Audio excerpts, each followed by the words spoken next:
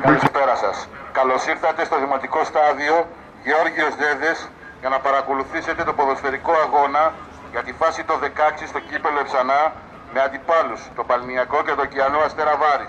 Πλακτός, νούμερο 2 Χαλκιάς, 3 βλάχος, 4 Ανδρίκος, 5 κολοτούρος.